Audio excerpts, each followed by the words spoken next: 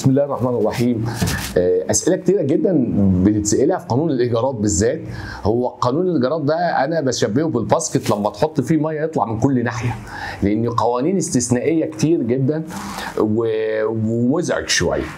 طيب أهم ما في قانون الإيجارات هنتكلم عنه المرة دي أو الحلقة دي هنتكلم على الامتداد القانوني لقانون الإيجارات للأماكن السكنة. الشقق السكنية لأن هي دي اللي, بتمس طائفة كبيرة جدا وهنتكلم بإذن الله إذا أراد ربنا وأحيانا الله على المحلات والأماكن الغير سكنه. طيب النهارده الامتداد الامتداد القانوني النهارده بعد حكم المحكمة الدستورية اللي صدر في 2002 عامل لغط شوية هو هل يمتد عقد الإيجار لجيل واحد فقط؟ طيب ولا الجيلين ولا الثلاثه ولا الأربعة إحنا هنعمل معادلة ظريفة جدا مع بعض ونقول بيمتد عقد الإيجار إزاي إحنا معادلتنا إن عقد الإيجار يمتد لمين؟ القانون بيقول لمين؟ للزوجة للأب والأم والزوجة والأبناء المقيمين مع المستأجر الأصلي وقت الوفاة. طيب يبقى إحنا لازم يبقى عندنا شرطين. حد من اللي قلناهم يا أب أو أم أو زوجة أو أولاد بشرط الإقامة مع المستأجر الأصلي وقت الوفاة. حلو. إذا وجد الشرطين مع بعض ليك امتداد. طيب لو كنت ابن ومش مقيم وقت الوفاة مالكش امتداد.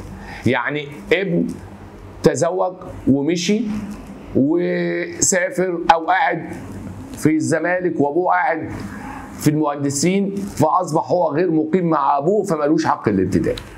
يبقى اذا لاجل الشرطين يتوافروا إن شاء الله مع بعض. السؤال اللي بيطرح نفسه لمين أب ناخد أمثلة الأمثلة بتوضح أب توفى وترك أم وأربع أولاد بيمتد لمين؟ بيمتد للأم والأربع أولاد ما يمتدش الأكبر ليهم سنا زي ما بسمع من الناس؟ لا بيمتد للأربعة مع بعض. يعني إيه؟ يعني الأم والأربع أولاد لغاية آخر حد فيهم ما يتوفاه الله يموت. طيب أحد الأولاد دول تزوج وخلف. يمتد لابنه اللي هو حفيد المستأجر الأصلي. في مثال يمتد ومثال ما يمتدش. نقول بقى المعادلة. لو المستاجر الأصلي توفى قبل 11 2002 من اليوم التالي لصدور المحكمه حكم المحكمة الدستورية فأصبح يعني لو واحد لازم نسأل على حاجة معينة إنه ده عقد إيجار طبقا للقوانين الاستثنائيه مش عقد إيجار قانون جديد لأن عقد الإيجار القانون الجديد بقى نقوله بالمرة بيمتد لمين؟ بيمتد طول الفترة الباقية بعد وفاة المستأجر يعني أنا مأجر لواحد 25 سنة. توفى بعد خمس سنين ال 20 سنة يمتد لمين؟ يمتد لكل الورثة. قاعدين مش قاعدين. بس بشرط إنهم يدفعوا الأجرة. يعني إيه الكلام ده؟ يعني لو واحد توفى وعنده بنتين وزوجة هيمتد البنتين والزوجة؟ لا ويمتد كمان لو ليه إخوات ولاد. الله يعني إيه اخ واد ده ما اتقالتش لا ما هم دول الورثه انت تجيب اللي اسمه في إعلام الوراثة هيمتد له عقد الإيجار طبقا لقانون 4 لسنة 96 القوانين الجديدة وليس الاستثنائية. إحنا دخلنا خطفناها كده المعلومة دي من جوه ونرجع تاني للقوانين الاستثنائية. طيب متى يمتد عقد الإيجار للحفيد؟ إذا توفى المستأجر الأصلي قبل صدور حكم المحكمة الدستورية. في 11 2002 صدر حكم المحكمة الدستورية. إذا توفى المستأجر الأصلي قبل هذا الحكم أصبح بيدي الحق لابنه إن هو يبقى مستأجر أصلي. فحكم المحكمة هيجي يلاقي الابن واخد حكم المستأجر الأصلي طبقا للقانون قبل صدور حكم المحكمة الدستورية. فيمد لابنه اللي هو الحفيد.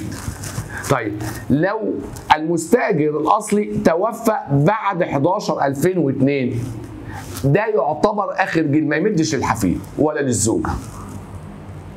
لزوجة الابن مش زوجة الأب المستأجر الأصلي.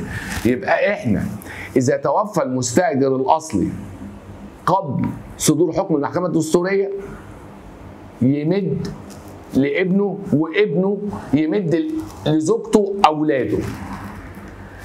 بشرط طبعا إنهم يكونوا مقيمين معاه طيب لو بعد حكم المحكمة الدستورية ما يمدش غير لابنه يعني اللي يبقى الأب مات بعد حكم المحكمة الدستورية هيمد لزوجته وأولاده بانتهائهم ينتهي عقد الإيجار وما يتمدش للحفيد.